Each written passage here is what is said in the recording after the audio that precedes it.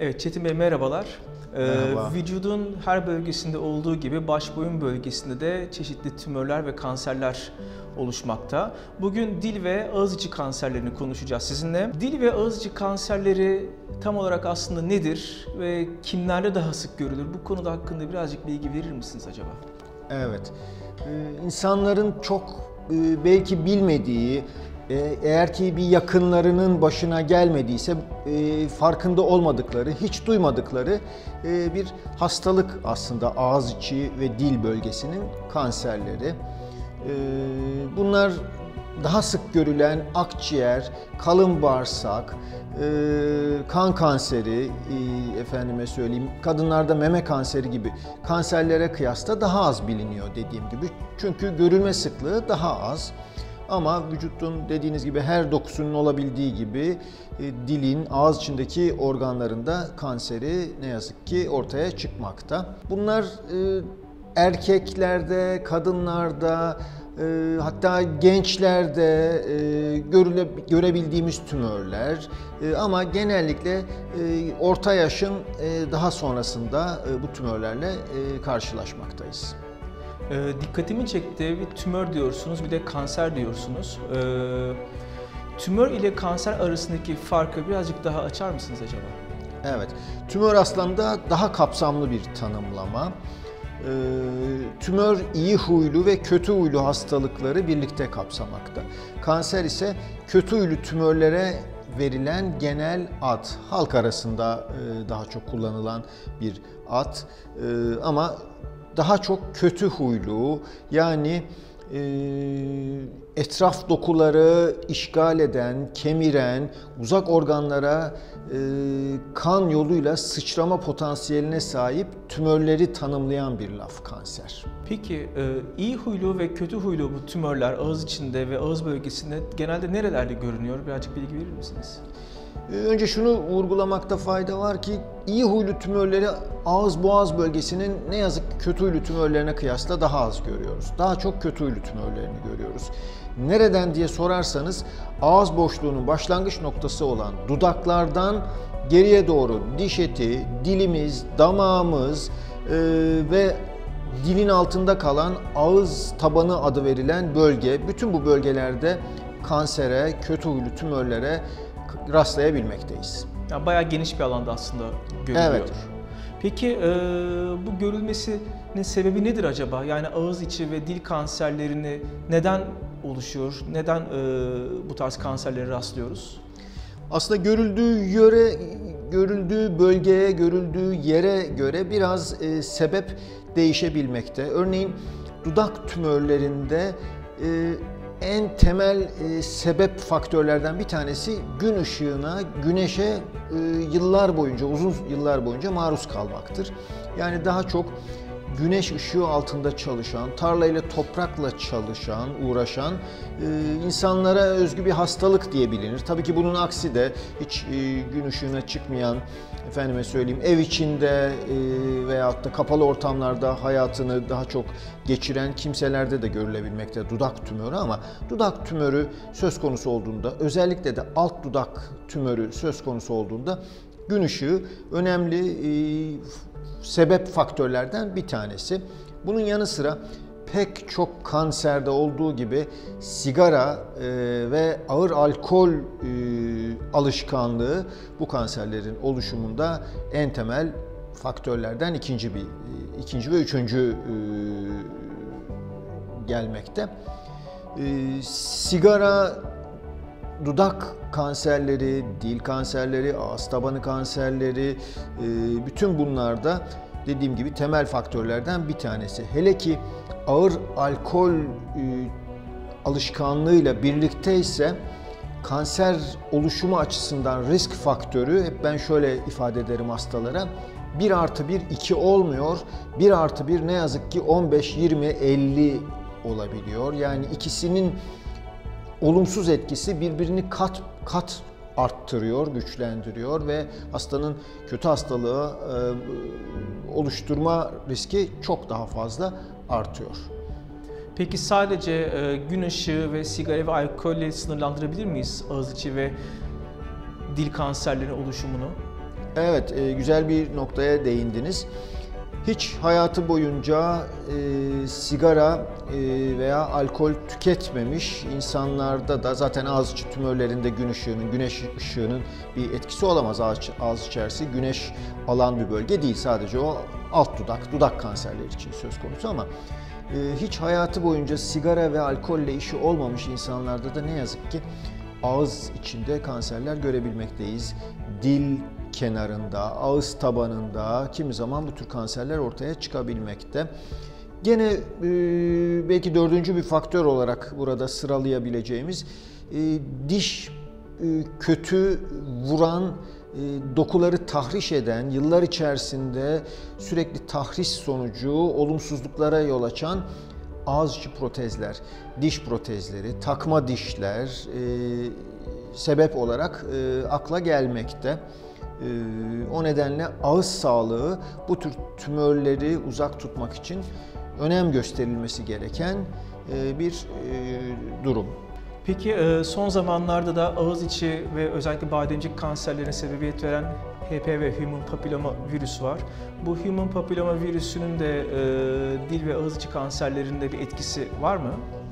Evet, Human Papilloma virüsün bazı tipleri özellikle genital bölgelerde yıllardır e, rahim ağzı veya erkeklerde penis bölgesi gibi kanser oluşturduğu bilinmekteydi.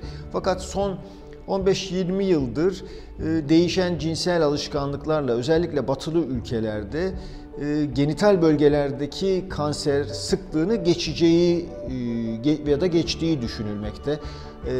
Boğaz kanserlerinin nedir bunlar? Dil kökü ve bademcik kanserleri. HPV ile ilişkili dil kökü ve bademcik kanserleri. Ağız içerisinde HPV ile ilişkili kanser ihtimali daha düşük. Bildiğimiz kadarıyla onun kanser oluşturma riski dilde, dilin ön kısmında, ağız tabanında veya dudakta e, pek yok. Daha çok dilin arka kısmı ve bademcik bölgesinde e, bu virüsler kanser oluşumuna yol açabilmekte. Peki e, dil dediniz. Dil bölgesinde lökoplaki ve eritroplaki adı verilen lezyonlar meydana gelmekte. Evet. Bunların bunlar aslında ne, nedir ve e, dil kanseri bir ilişkisi var mıdır acaba? Evet. E, loko beyazı tanımlayan, eritro ise kırmızıyı tanımlayan bir e, terim. E, plak, plaki de plak e, ya da yüzey alanı diye e, tanımlayabileceğimiz bir kelime. Lokoplaki de ağız içerisinde, dil kenarında, ağız tabanında, dilin alt kısmında beyaz alanlar söz konusu. Lokoplakiye benzer bir e, lezyon da liken adı verilen lezyon. Bu da keza gene beyaz alanlar şeklinde görülmekte. Hem liken hem e, lokoplaki e, ve kırmızı alanlar şeklinde kendini gösteren eritroplaki bu üçü de biliyoruz ki kanser oluşumuna zemin hazırlayabilmekte ya da zaman içerisinde bu lezyonlar kansere dönebilmekte. Peki ağız içindeki her yara ya da ne bileyim aft gibi oluşumlar kanser riski taşır mı ya da kanser öncüsü müdür? Evet, afttan söz ettiniz. Aft çoğu insanın e, hayatı boyunca pek çok sefer yaşadığı bir gerçek. Kimi zaman da çok ağrılı olur. Aft e, kimi zaman virüslerin suçlandığı, kimi zaman e, sert kılları dönmüş diş fırçası gibi tahriş eden şeylerin suçlandığı oluşumunda bir ağız içi lezyondur. Aftlar genellikle ağrılı olur, kimi zaman da çok ağrılı olur. Fakat aftlar hemen her zaman birkaç hafta içerisinde iyileşir. Bir de Behçet hastalığı adı verilen bir hastalık var. Hem ağız içerisinde hem genital bölgede aft benzeri lezyonlar olur. Buradaki aftlar biraz daha büyüktür. Fakat bu aftlar da Behçet hastalığındaki aft benzeri lezyonlar da kansere dönüşmez. Diğer aft lezyonları gibi ve haftalar içerisinde ya da bir hafta 10 gün içerisinde genellikle iyileşir. Ee, dediğim gibi bunları tümörle karıştırmamak lazım. Aft pek çoğumuzun yaşadığı e, ve hiçbir şekilde kansere dönüşme riski taşımayan, e, ağrılı da olsa bir hafta iki hafta içerisinde tamamıyla iyileşen ağızçı lezyonlar. Ama velakin e, başta aft gibi başlayıp 2-3 hafta geçmesine karşın hiçbir düzelme göstermeyen, büyüyen, baştan çok fazla ağrılı olmayan lezyonlar e, kanser e, şüphesi gerçekten taşıyabilir. Bu nedenle hastalara bizim önerimiz ağız içerisinde aynı bölgede eğer bir lezyon, bir yara, bir e, diğer bölgelerinden, ağzın diğer bölgelerinden farklı bir renk oluşumu 2-3 haftayı geçtiyse hekime görünme vakti geldi demektir. Hastalarımıza hep e, bunu e, söylemiş, bunu vurgulamış olmuşuzdur. Peki e, bu tarz lezyonlar ya da belirtiler gören bir kişi sizin kliniğinize başvurduğu zaman onu ne gibi bir muayene süreci bekliyor? Birazcık bilgi verir misiniz? Kulak burun boğaz hekimi başvurması gereken merci böyle bir lezyon varsa kulak burun boğaz hekimleri genellikle tam bir kulak burun boğaz muayenesi yaparlar. Hastayı dinledikten, hastanın şikayetlerini kaydettikten sonra tam bir kulak burun boğaz muayenesi yaparlar. Kulak burun e, muayenesi bittikten sonra hastanın nasıl şikayetinin olduğu ağız bölgesine gelir e, muayene aşaması. Ağız içerisindeki e, bölgeler, e, lezyon alanı ve ağzın diğer bölgeleri güçlü ışık altında incelenir. E, çoğu kez hekim eline bir eldiven giyip lezyonun kıvamını, sertliğini, yayılımı varsa yayılımını hissetmek için eliyle muayeneyi de yeğleyecektir. Arkasından bir de çoğu kez boyun muayenesi gelir. E, boyunda e, hastalığın sıçramış olma ihtimalini düşündürür bir sertlik, bir kitle, bir şişlik var mı? Onu elleriyle hissetmeye çabalayacaktır hekim. Muayene genellikle bu şekilde tamamlanır. Peki e, bu tarz bir hastalıkla başvurmuş olan bir kişinin için, kişi için radyolojik görüntüleme yöntemlerinden hangileri önerilmektedir? Evet, genellikle e, has, hekimler hastalarını muayene ettikten sonra tümör olabileceği yönünde bir şüphe taşıyorlarsa radyolojik inceleme aşamasına geçerler. E, günümüzde en sık kullanılan radyolojik teknikler baş boyun bölgesinde en basitinden e, en karmaşığına gidersek ultrason, bilgisayarlı tomografi ve MR incelemelerdir. E, bir de tümör varlığı kanıtlandıktan sonra hastalığın yayılımını araştırmak için PET tomografi e, kullanılan yöntemlerdir. Peki bu görüntüleme yöntemlerinden sonra bir tümör varlığı tespit edilirse o zaman ne tür bir işlem yapılır?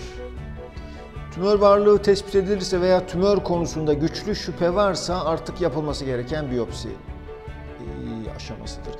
Biyopsi bir doku parçası almak ve onu patoloji uzmanı hekime e, özel koruyucu sıvılar içerisinde e, yollama şeyini prosesini tanımlar. Yaptığımız ağız içerisinde, boğazda yaptığımız minik tıbbi veya cerrahi aletlerle hastanın canını yakmadan belki öncesinde uyuşturmak için ilaç e, uygulayarak e, ufak bir parça patologa, patoloji uzmanına tanı koyması için yetecek miktarda bir parça e, yollamak olacaktır. E, patoloji uzmanı bunu inceleyerek bize hastalığın türünü rapor edecektir. Eğer ki yolladığımız mal şey doku yeterliyse bize kesin bir sonuç verecektir. E, halk içinde genel bir inanış var. Hani biyopsi aldığımız zaman tümörü bozarız, vücudun yayıl, vücuda yayılmasına sebep oluruz gibilerinden bir inanış var. Bunun hakkında ne gibi düşünceniz var acaba? Ee, ne yazık ki tamamıyla yanlış bir düşünce. Bu tümör tanısı koymak için günümüzde tek bir yöntem var. En güvenilir, en garanti yöntem biyopsi yöntemi. Çünkü eğer ki tümör tanısı, kötü huylu tümör tanısı, kanser tanısı koymuşsa hastayı çok ciddi e, tedavi yöntemlerini içeren uzun, zor, sıkıntılı bir süreç beklemekte. Böyle bir sürece elimizde kesin kanıtlar olmadan gayet tabii ki e, başlayamayız. Böyle bir süreci başlatamayız. Bu süreci başlatmak için de mutlaka ve mutlaka biyopsi işlemi uygulanmak zorunda. Biyopsi hastalığın yayılmasına hiçbir şekilde yol açmaz. Tam tersine biyopsi işlemi geciktirilirse hastalık kendiliğinden zaten yayılacak. Belki de tedavi imkansız hale gelecektir. Peki birazcık tedaviden bahsetmek gerekirse e, bu tarz kanserlerin tedavileri nasıl yapılmaktadır?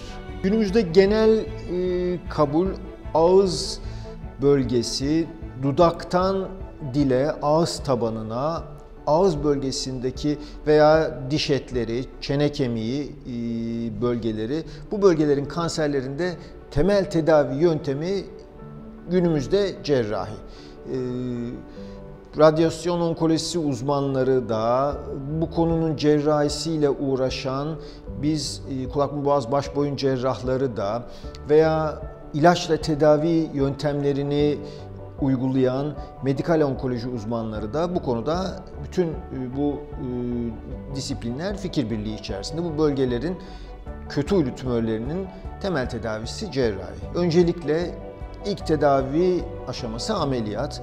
Eğer ki ameliyatla tümörün tamamının çıkartılabileceği kanaati var ise. Peki dil ve ağız içi kanserlerinin ameliyatları, cerrahi tedavileri nasıl yapılır? Birazcık bilgi verir misiniz? Tabii ki. Bu tür ameliyatlar hemen her zaman genel anestezi altında uygulanan, günümüzde genel anestezi çok güvenilir ee, tabii ki. Genel anestezi altında uygulanan ameliyatlardır. Saatler süren ameliyatlardır bunlar genellikle. Ee, bütün dünyada ıı, kabul edilen bu tür bölgelerin kanserlerinin tedavisinde kabul edilen teknik, ameliyat tekniği öncelikle boyundaki lenf bezelerinin de temizlenmesiyle başlanmasıdır. Çünkü bu hastalıklar boyundaki lenf bezelerine teşhis sırasında sıçramış olabilir. Zaten görünür, hissedilir bir kitle şeklinde zaten kimi zaman mevcuttur.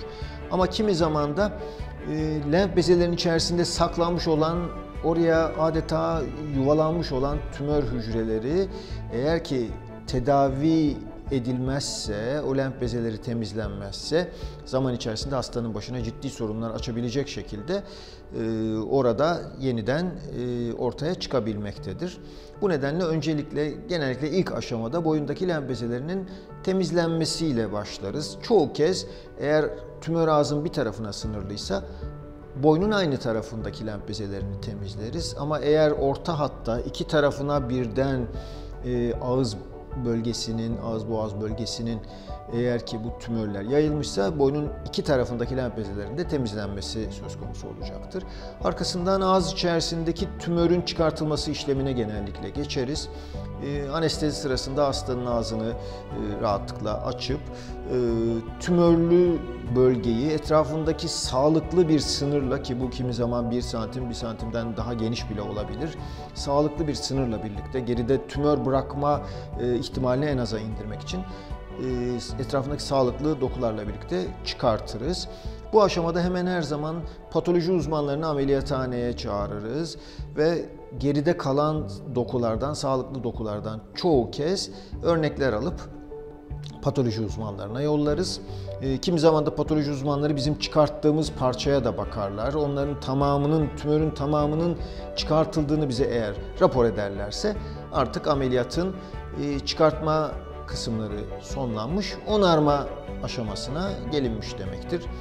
E, oluşan boşlukları ya o bölgenin dokularıyla veyahut da vücudun diğer bölgelerinden alınan dokularla onararak ameliyatı sonlandırırız. Tabi bahsettiğiniz ameliyatlar bayağı yoğun ve uzun süren ameliyatlar, yorucu ameliyatlar. Ee, hem sizin için hem de ameliyatı olan kişi için aslında bu böyle. Ee, bu ameliyatı olmuş olan kişileri nasıl bir süreç bekliyor ameliyattan sonra? Evet, bu ameliyatlar dediğiniz gibi saatler süren ameliyatlar. Ee, belki en kolayı, en kısası bile 1-2 saat. Ee, ancak daha e, çok dokunun çıkarıldığı, onarım için uzak bölgelerden doku taşınmasının gerektiği ameliyatlar 5, 6, 7 kimi zaman daha uzun saatleri alabilmekte. E, sonrasında hasta için e, bir süre hastanede geçirilecek bir süre söz konusu olmakta. E, ve kimi zaman da ilk bir gün, iki gün yoğun bakımda geçirilmekte. Hastanın yaşı, hastanın kalple ilgili, damarla ilgili e, veya işte e, diğer organlarıyla ilgili bir sorun varsa bu yoğun bakım yatış süreci e, kimi zaman birkaç gün daha da uzayabilmekte. Ameliyat sonrası günlerde hastalar genellikle ağız bölgesinden kolaylıkla beslenemezler ağız içerisinde yapılan işlemlerden dolayı. E, boyun bölgesinde bir ameliyat yapıldıysa e, kan ve sıvı birikimini dışarıya alacak bir takım borucuklar, diren adı verilen bazı e, şeyler, düzenekler hastaya uygulanır. E, çoğu kez idrar sondası taşırlar ilk birkaç gün hastalar. E, ve ağızdan beslenemeyeceği için de ya damar yoluyla ilk birkaç gün, sonraki günlerde de kimi zaman burundan mideye uzatılan bir hortum, bir borucuk yoluyla hastalar beslenirler. Ama günden güne hasta iyileştikçe, hasta kendini toparladıkça bu e, şeylerden yavaş yavaş bu uzantılarından kurtulur. İdrar sondasından, efendime söyleyeyim o boyundaki e, birikimi dışarıya alan diren düzeneğinden e, ve ağızdan rahat beslenir hale geldiğinde de burundan ağza, mideye uzatılan borudan gibi bu tür fazlalıklardan kurtulan hasta sonuçta rahat yer içer, rahatlıkla konuşabilir hale geldiğinde taburculuk gündeme gelir. Peki e, bu ameliyatlardan sonra hastada bir konuşma, bir tat alma gibi bir e, sıkıntı, sorun yaşanır mı acaba? Dil tabii ki kelimelerin telaffuzunda, harflerin ve kelimelerin telaffuzunda çok önemli bir organ. Ee, ve dil kenarındaki ya da dilin altında ağız tabanındaki tümörlerde dilin bir kısmının çıkartılması söz konusu.